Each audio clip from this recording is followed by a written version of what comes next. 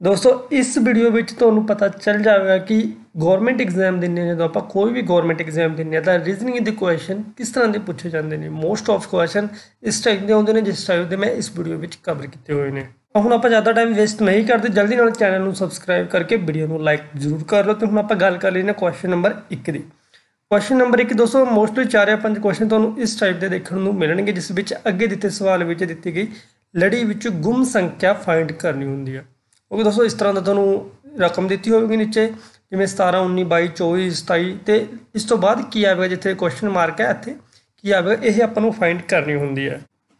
ਬਸ ਆਪਾਂ ਨੂੰ ਡਿਫਰੈਂਸ ਲੱਭਣਾ ਹੁੰਦਾ ਇਹਨਾਂ ਵਿੱਚੋਂ ਕਿ 17 ਤੇ 19 ਵਿੱਚ ਕੀ ਡਿਫਰੈਂਸ ਹੈ 19 ਤੇ 22 ਵਿੱਚ ਕੀ ਡਿਫਰੈਂਸ ਹੈ, ਤੇ 22 ਤੇ 24 ਵਿੱਚ ਕੀ ਡਿਫਰੈਂਸ ਹੈ, ਤੇ 24 ਤੇ 27 ਵਿੱਚ ਕੀ ਡਿਫਰੈਂਸ ਹੈ, ਤੇ 27 ਵਿੱਚ ਜੋ ਵੀ ਡਿਫਰੈਂਸ ਇਹਨਾਂ ਵਿੱਚ ਹੋਵੇਗਾ, ਉਹੀ ਜਿਹੜਾ ਕੁਐਸਚਨ ਮਾਰਕ ਦੀ ਥਾਂ ਤੇ ਆਪਾਂ ਨੂੰ ਸਮ ਮਿਲ ਜਾਵੇਗਾ।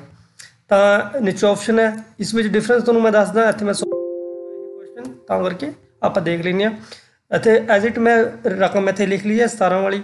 ਤੇ ਇਸ ਵਿੱਚ ਆਪਾਂ ਡਿਫਰੈਂਸ ਦੇਖੀਏ ਤਾਂ 17 ਤੇ 19 ਵਿੱਚ ਇੱਕ ਅੱਖਰ ਦਾ ਡਿਫਰੈਂਟ ਹੈ 18 ਦਾ ਡਿਫਰੈਂਟ ਹੈ। ਤੇ 19 ਤੇ 22 ਵਿੱਚ ਕਿੰਨਾ ਡਿਫਰੈਂਟ ਹੈ? 2 ਦਾ ਡਿਫਰੈਂਟ ਹੈ ਇੱਥੇ। ਤੇ 22 ਤੇ 24 ਵਿੱਚ ਵੀ ਇੱਕ ਦਾ ਡਿਫਰੈਂਟ ਹੈ। ਅਤੇ ਇਸ ਤੋਂ ਇਲਾਵਾ 24 ਤੋਂ 27 ਵਿੱਚ 2 ਦਾ ਡਿਫਰੈਂਸ ਹੈ ਅਤੇ 27 ਵਿੱਚ 29 ਵਿੱਚ। ਓਵਰਆਲ ਕਹਿਣ ਦੀ ਗੱਲ ਇਹ 1 2 1 2 ਦਾ ਜਿਹੜਾ ਕਿ ਪੂਰੀ ਟਰਮ ਇਹ ਚੱਲ ਰਹੀ ਹੈ ਤਾਂ ਪਹਿਲਾਂ ਆਪਾਂ ਇੱਕ ਇੱਕ ਛੱਡ ਕੇ 19 ਲਿਖ ਲਿਆ 17 18 ਛੱਡ ਕੇ 19 ਲਿਖ ਲਿਆ। 19 ਤੋਂ ਬਾਅਦ ਕੀ ਹੋਇਆ ਆਪਾਂ? 19 20 ਤੇ 21 ਛੱਡ ਕੇ 22 ਲਿਖ ਲਿਆ। 22 ਤੋਂ ਬਾਅਦ ਕੀ? 23 ਛੱਡ ਕੇ 24 ਲਿਖ ਲਿਆ। ਤੇ 24 ਤੋਂ ਬਾਅਦ ਕੀ?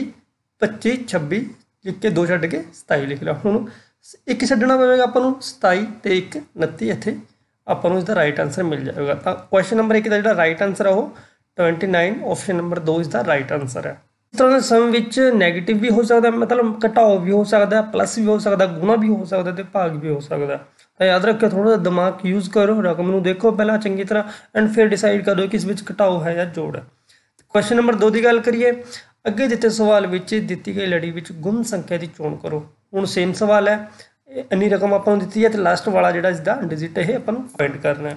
ਤੇ ਇਸ ਦਾ ਕੀ ਬਣਦਾ? ਹੁਣ ਇੱਥੇ ਇਹਨਾਂ ਨੇ ਕੀ ਕੀਤਾ ਹੋਇਆ? ਪਹਿਲਾਂ 3 14 ਤੋਂ ਬਾਅਦ ਕੀ? ਚੋ 15 16 17 ਤਿੰਨ, ਆਪਾਂ ਨੇ ਨੰਬਰ ਛੱਡ ਤੇ 18 ਲਿਖਤਾ। 18 ਤੋਂ ਬਾਅਦ ਦੋ ਨੰਬਰ ਛੱਡ ਤੇ 19 ਤੇ 20 ਛੱਡਤਾ ਤਾਂ 21 ਇੱਥੇ ਇਹਨਾਂ ਨੇ ਲਿਖਤਾ। 21 ਤੋਂ ਬਾਅਦ 22 23 24 24 ਛੱਡ ਕੇ 25 ਇਹਨਾਂ ਨੇ ਇੱਥੇ ਲਿਖਤਾ। 25 ਤੋਂ ਬਾਅਦ 26 27 ਛੱਡ ਕੇ 28 ਲਿਖਤਾ। ਮਤਲਬ ਤਿੰਨ ਦਾ, ਦੋ ਦਾ, ਤਿੰਨ ਦਾ, ਦੋ ਦਾ, ਤਿੰਨ ਦਾ ਡਿਫਰੈਂਟ ਇਸ ਵਿੱਚ ਚੱਲੀ ਜਾਂਦਾ। ਜਿਵੇਂ ਇੱਥੇ ਆਪਾਂ ਚੈੱਕ ਕਰ ਸਕਦੇ ਹਾਂ। 14 14 ਤੇ 15 16 17 ਤਿੰਨ ਛੱਡਤੇ ਆਪਾਂ 18 ਲਿਖਤਾ। 18 ਤੋਂ ਬਾਅਦ 19 20 ਛੱਡਤਾ 21 ਲਿਖਤਾ। 21 ਤੋਂ ਬਾਅਦ 22 23 24 ਛੱਡਤਾ 25 ਲਿਖਤਾ ਅਤੇ 25 ਤੋਂ ਬਾਅਦ 26 ਤੇ 27 ਛੱਡਤਾ ਤੇ 28 ਇੱਥੇ ਲਿਖਤਾ। ਹੁਣ 3 ਹੋ ਗਿਆ। ਸੀਰੀਜ਼ ਚਲੀ ਜਾਂਦੀ 3 ਦੀ। 2 3 2 ਤੇ ਹੁਣ 28 ਤੋਂ ਬਾਅਦ ਇਹਨਾਂ ਨੇ ਫਾਈਂਡ ਕਰਨ ਵਾਸਤੇ ਇੱਥੇ ਕਿਹਾ ਹੋਇਆ ਕੀ ਹੈ? ਹੁਣ ਤਿੰਨ ਆਪਾਂ ਛੱਡ ਕੇ ਜਿਹੜਾ ਚੌਥਾ ਅੱਖਰ ਹੋਗਾ ਉਹ ਇੱਥੇ ਆਪਾਂ ਨੋਟ ਕਰਾਂਗੇ। 28 29 30 31 ਚੌਥਾ ਜਿਹੜਾ 32 ਇੱਥੇ ਰਾਈਟ ਆਨਸਰ ਇਸ ਦਾ ਹੋ ਜਾਵੇਗਾ। ਤਾਂ ਦੋਸਤੋ, ਇਸ ਤਰ੍ਹਾਂ ਦੇ ਈਜ਼ੀ ਕੁਐਸਚਨ ਤੁਹਾਨੂੰ ਐਫਸੀਆਈ ਦੇ ਐਗਜ਼ਾਮ ਵਿੱਚ ਦੇਖਣ ਨੂੰ ਮਿਲਣਗੇ। ਕੋਈ ਜ਼ਿਆਦਾ ਟਫ ਨਾ ਮੈਥ ਆਉਂਦਾ, ਨਾ ਹੀ ਰੀਜ਼ਨਿੰਗ ਆਉਂਦੀ ਆ। ਜਸਟ ਇੱਕ ਵਾਰੀ ਸਮਝ ਲਓ, ਬਾਕੀ ਪੂਰੀ ਗੱਲਬਾਤ ਤੁਹਾਨੂੰ ਸਮਝ 'ਚ ਆ ਜਾਵੇ ਜਦੋਂ ਵੀ ਐਗਜ਼ਾਮ ਵਿੱਚ ਇਸ ਤਰ੍ਹਾਂ ਦੇ ਕੁਐਸਚਨ ਦੇਖੋਗੇ। ਤੇ ਜਲਦੀ ਨਾਲ ਚੈਨਲ ਸਬਸਕ੍ਰਾਈਬ ਜ਼ਰੂਰ ਕਰ ਲਿਓ ਹੋਵੇਗਾ। ਤੇ ਇੱਕ ਗੱਲ ਹੋਰ, ਕਾਫੀ ਕਲਾਸਿਸ ਮੈਂ already GK current affair regarding ਤੁਹਾਨੂੰ ਪ੍ਰੋਵਾਈਡ ਕਰਵਾ ਦਿੱਤੀ ਹੈ ਜਾ ਕੇ ਚੈਨਲ ਨੂੰ ਵਿਜ਼ਿਟ ਕਰ ਲਿਓ।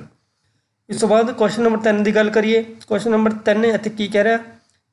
ਅੱਗੇ ਦਿੱਤੇ ਸਵਾਲਾਂ ਵਿੱਚ ਦਿੱਤੀ ਗਈ ਲੜੀ ਵਿੱਚ ਗੁੰਮ ਸੰਖਿਆ ਫਾਈਂਡ ਕਰੋ। ਸੇਮ ਹੀ ਚੀਜ਼ ਹੈ।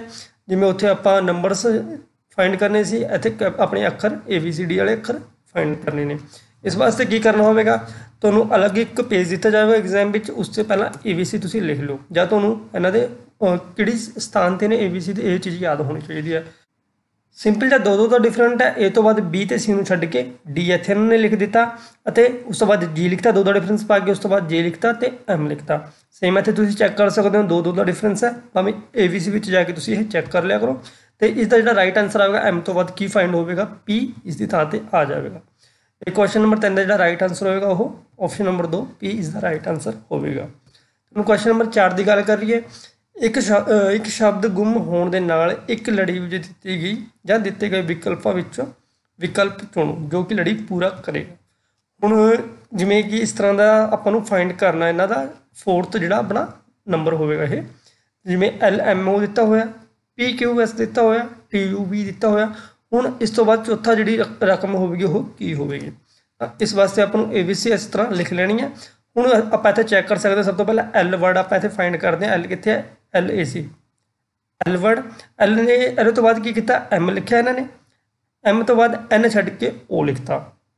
ਠੀਕ ਹੈ, ਇਸ ਤੋਂ ਬਾਅਦ ਪੀ ਲਿਖਿਆ ਇਹਨਾਂ ਨੇ। ਪੀ ਪੀ ਤੋਂ ਬਾਅਦ ਕਿਉ ਲਿਖਿਆ?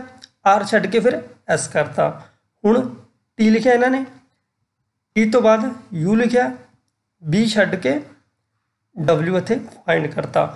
ਤਾਂ ਹੁਣ ਆਪਾਂ ਜਿਹੜਾ ਫਾਈਂਡ ਕਰਨਾ ਉਸ ਦੀ ਥਾਂ ਤੇ ਕੀ ਆਵੇਗਾ ਦੋਸਤੋ? X ਆਵੇਗਾ ਤੇ y ਆਵੇਗਾ। Z ਛੱਡ ਕੇ ਆਪਾਂ a ਨਾਲ ਲੈ ਲਾਂਗੇ। ਤਾਂ ਇਸ ਦਾ ਜਿਹੜਾ ਰਾਈਟ ਆਨਸਰ ਹੋਵੇਗਾ option number 1 x, y, a I hope ਦੋਸਤੋ ਤੁਹਾਨੂੰ ਸਮਝ 'ਚ ਆ ਰਿਹਾ, ਇਹ ਪੂਰੀ ਗੱਲ ਜੋ ਵੀ ਮੈਂ ਤੁਹਾਨੂੰ ਸਮਝਾ ਰਿਹਾ। ਬਾਕੀ ਇਸ ਤੋਂ ਬੈਟਰ ਮੇਰੇ ਕੋਲ ਹੋਰ ਕੋਈ ਸਿਸਟਮ ਹੈ ਨਹੀਂ ਕਿ ਤੁਹਾਨੂੰ ਚੰਗੀ ਤਰ੍ਹਾਂ ਬਲੈਕ ਬੋਰਡ ਜਾਂ ਵਾਈਟ ਬੋਰਡ ਤੇ ਸਮਝਾ ਸਕਾਂ ਬਟ ਫਿਊਚਰ ਵਿੱਚ ਜ਼ਰੂਰ ਇਸ ਤਰ੍ਹਾਂ ਦਾ ਤੁਹਾਨੂੰ ਦੇਖਣ ਨੂੰ ਮਿਲਣਗੇ ਕਲਾਸਿਸ ਕਿ ਮੈਂ ਤੁਹਾਨੂੰ ਵਾਈਟ ਬੋਰਡ ਤੇ ਪੂਰੀ ਈਜ਼ੀਲੀ ਤਰੀਕੇ ਨਾਲ ਸਮਝਾ ਦੇਵਾਂਗਾ।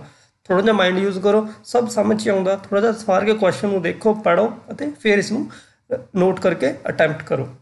ਐਂਡ ਦੋਸਤੋ, ਜੇ ਤੁਸੀਂ ਹਾਲੇ ਤੱਕ ਸਾਡਾ ਟੈਲੀਗ੍ਰਾਮ ਚੈਨਲ ਜੁਆਇਨ ਨਹੀਂ ਕੀਤਾ ਐਂਡ ਸਾਡਾ WhatsApp ਗਰੁੱਪ ਜੁਆਇਨ ਨਹੀਂ ਕੀਤਾ ਤਾਂ ਵੀਡੀਓ ਦੇ ਡਿਸਕ੍ਰਿਪਸ਼ਨ ਵਿੱਚ ਮੈਂ ਲਿੰਕ ਦੇ ਦਿੱਤਾ, ਜਾ ਕੇ WhatsApp ਗਰੁੱਪ ਤੇ ਟੈਲੀਗ੍ਰਾਮ ਵੀ ਜਰੂਰ ਜੁਆਇਨ ਕਰ ਲਓ। ਇਸ ਤੋਂ ਬਾਅਦ ਕੁਐਸਚਨ ਨੰਬਰ 4 ਦੀ ਗੱਲ ਕਰੀਏ, ਕਿਸ ਤਰ੍ਹਾਂ ਦਾ ਕੁਐਸਚਨ ਇਸ ਤਰ੍ਹਾਂ ਦੇ ਕੁਐਸਚਨ ਆਪਾਂ ਨੂੰ ਐਗਜ਼ਾਮ ਵਿੱਚ ਬਹੁਤ ਜ਼ਿਆਦਾ ਹੀ ਦੇਖਣ ਨੂੰ ਮਿਲਦੇ ਨੇ। ਇਸ ਵਿੱਚ ਵੀ ਸੇਮ ਕੁਐਸਚਨ ਹੈ, ਸਹੀ ਵਿਕਲਪ ਚੁਣਨਾ ਜਿਸ ਨਾਲ ਇਹ ਲੜੀ ਪੂਰੀ ਹੋ ਜਾਵੇਗੀ। ਇਹ ਆਪਾਂ ਨੂੰ ਰਕਮ ਦਿੱਤੀ ਹੋਈ ਹੈ TARS YWX ਤੇ DVC ਤੇ ਇਸ ਵਾਸਤੇ ਵੀ ਸੇਮ ਹੀ ਹੈ, ਆਪਾਂ ABC ਵਿੱਚ ਨਿਗਾਹ ਮਾਰਨੀ ਹੈ। ਹੁਣ ਕੀ ਲਿਖਿਆ ਇਹਨਾਂ ਨੇ? T ਫਾਈਂਡ ਕਰਨਾ, ਆਪਾਂ ABC ਵਿੱਚ T ਕਿੱਥੇ ਆਪਣਾ? ਤੇ T ਫਾਈਂਡ ਕਰਨ ਤੋਂ ਬਾਅਦ ਇੱਥੇ ਆਪਣੀ T ਹੈ। ਉਸ ਤੋਂ ਬਾਅਦ ਇਹਨਾਂ ਨੇ ਕੀ ਲਿਖਤਾ? ਇੱਕ ਛੱਡ ਕੇ R ਲਿਖਤਾ।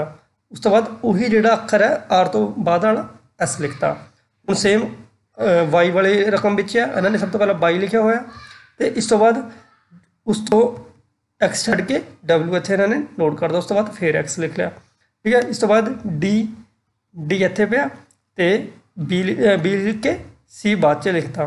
ਹੁਣ ਆਪਾਂ ਨੂੰ ਇਹ ਪੂਰਾ ਸਟ੍ਰੈਟਜੀਜ਼ ਦੀ ਸਮਝ ਆ ਗਈ ਕਿ ਜਿਵੇਂ ਕਿ ਇੱਥੇ ਪਹਿਲਾਂ ਇਹਨਾਂ ਨੇ ਟੀ ਰੱਖਿਆ ਸੀ ਟੀ ਦੇ ਬਾਅਦ ਚਾਰ ਅੱਖਰ ਛੱਡ ਕੇ 22 ਚੱਕਿਆ ਨੈਕਸਟ ਰਕਮ ਵਿੱਚ, ਉਸ ਤੋਂ ਬਾਅਦ ਆਪਾਂ ਚਾਰ ਅੱਖਰ ਛੱਡ 'ਤੇ ਏ ਬੀ ਸੀ ਛੱਡਤੀ ਤੇ ਜ਼ੈਡ ਛੱਡਤੀ, ਤਾਂ ਇਹਨਾਂ ਨੇ ਡੀ ਚੱਕ ਲਿਆ। ਹੁਣ ਫਿਰ ਆਪਾਂ ਚਾਰ ਅੱਖਰ ਛੱਡਾਂਗੇ। e, ਈ ਐਫ ਤੇ ਐਚ ਤੱਕ ਆਪਾਂ ਛੱਡ ਕੇ ਆਈ ਚੱਕਾਂਗੇ। ਆਈ ਇੱਥੇ ਆਪਾਂ ਚੱਕ ਲਈ ਤੇ ਉਸ ਤੋਂ ਬਾਅਦ ਆਈ ਤੋਂ ਜੀ ਆਪਾਂ ਪਿੱਛੇ ਲਿਖਾਂਗੇ ਤੇ ਉਸ ਤੋਂ ਬਾਅਦ ਐਚ ਇਸ ਦੇ ਨਾਲ ਲਿਖ ਲਾਂਗੇ। ਤਾਂ ਇਸ ਦਾ ਜਿਹੜਾ ਰਾਈਟ ਆਨਸਰ ਹੋਊਗਾ ਆਪਸ਼ਨ ਨੰਬਰ 4 ਇਸ ਦਾ ਰਾਈਟ ਆਨਸਰ ਇਸ ਤਰ੍ਹਾਂ ਹੋ ਜਾਵੇਗਾ। ਇਸ ਤੋਂ ਬਾਅਦ ਕੁਐਸਚਨ ਨੰਬਰ 6 ਦੀ ਗੱਲ ਕਰੀਏ, ਅੱਗੇ ਦਿੱਤੇ ਸਵਾਲ ਵਿੱਚ ਵਿਕਲਪ ਵਿੱਚੋਂ ਅਜੀਬ ਸ਼ਬਦ ਸੁਣਨਾ। ਦੋਸਤੋ, ਇਸ ਤਰ੍ਹਾਂ ਦੇ 4-5 ਕੁਐਸਚਨ ਤੁਹਾਨੂੰ ਪੱਕਾ ਐਗਜ਼ਾਮ ਵਿੱਚ ਦੇਖਣ ਨੂੰ ਮਿਲਣਗੇ।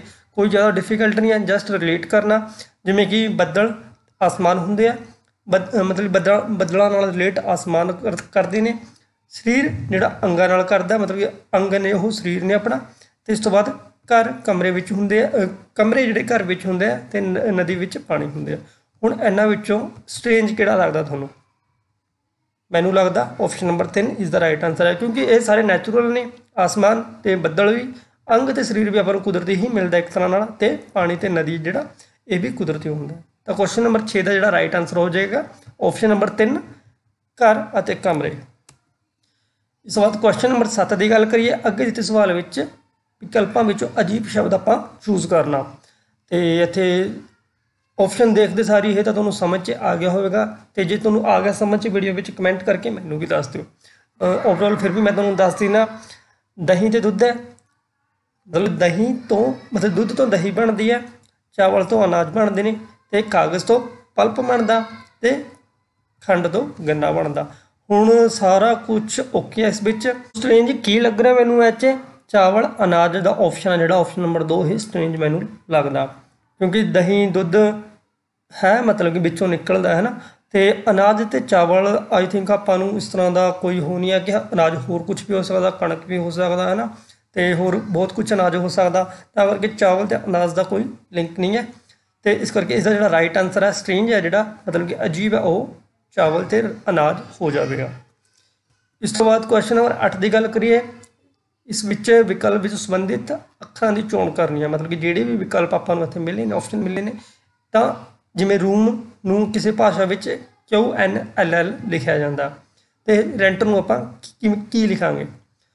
ਹੁਣ ਇਸ ਵਾਸਤੇ ਆਪਾਂ ਨੂੰ ABC ਤੇ ਨਿਗਾਹ ਮਾਰਨੀ ਪਵੇਗੀ ਦੋਸਤੋ। ਜੇ R ਨੂੰ ਇਹ ਕਿਉਂ ਲਿਖ ਰਿਹਾ ਹੈ, ਕਿਉਂ ਲਿਖ ਰਿਹਾ ਹੈ ਇੱਥੇ ਆਪਾਂ R ਫਾਈਂਡ ਕਰਦੇ ਹਾਂ, R ਹੈ ਜਿਹੜਾ ਇਹ R ਨੂੰ ਇਹ ਕਿਉਂ ਲਿਖਦਾ।